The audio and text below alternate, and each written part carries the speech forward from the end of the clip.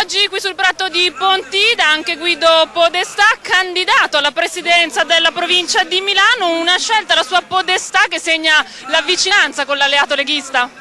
Sottolinea la vicinanza con l'alleato leghista perché in tre anni da commissario per la provincia di Milano per Forza Italia e nell'ultimo anno come coordinatore regionale del Popolo e Libertà io devo dire che ho sempre trovato negli amici della Lega una grande coerenza, una grande capacità di condividere progetti e di realizzarli e quindi il fatto di eh, aver accettato l'invito cortese che mi è stato rivolto eh, deriva non soltanto dal desiderio di ribadire che abbiamo una battaglia in comune per la provincia di Milano, ma ha anche il significato di sottolineare la vicinanza profonda al di là del fatto elettorale. Eh, c'è una realtà strutturata in questa alleanza, alleanza che consente a Berlusconi di governare a livello nazionale con il ministro Bossi e con gli altri ministri del governo, c'è la stessa vicinanza, alleanza profonda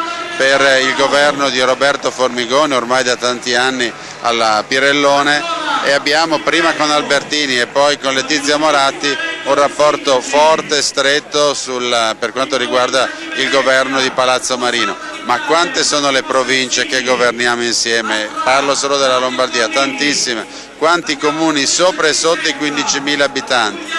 La provincia di Milano resterebbe un'anomalia, un'anomalia nella quale un governo di sinistra si dimostrerebbe in futuro incapace come è stato in questi cinque anni. E allora, come diceva anche il ministro Roberto Castelli, non abbiamo bisogno in un momento in cui si devono realizzare le infrastrutture per Expo di avere qualcuno che fa lo sgambetto, abbiamo bisogno di remare tutti dalla stessa parte. Milano e la sua provincia debbono essere sempre più la capitale economica e morale di tutto il nord e potrebbe essere di fatto un rilancio anche per un'area che sta vivendo una crisi economica notevole.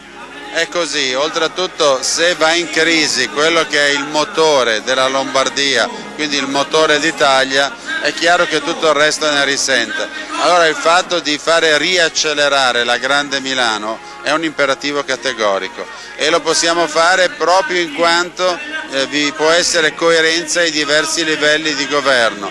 È impensabile riuscire a fare questa eh, rivitalizzazione di un tessuto economico che è vitale ma che sente la crisi mondiale, non può non sentirla. Allora c'è la necessità di far sì che questo si riconduca a questa alleanza forte, alleanza nella quale si condividono le priorità, i principi e soprattutto l'interesse per la gente. Guardi, dall'altra parte si cerca soltanto di ragionare in termini di vantaggio, di potere, di gestione del potere fino a se stessa. Noi mettiamo, noi del Popolo della Libertà, ma noi anche eh, alleati con la Lega, sentiamo di avere come primo fondamentale interesse quello dei cittadini. È questo che ci unisce, è il fatto di capire che la politica è servizio, servizio per la gente, per la gente normale, per la gente che si alza al mattino e fa fatica ad arrivare alla sera, che sbatte tutto il giorno. Questa è la nostra gente, la gente di Lombardia e noi a questa gente vogliamo dare il massimo.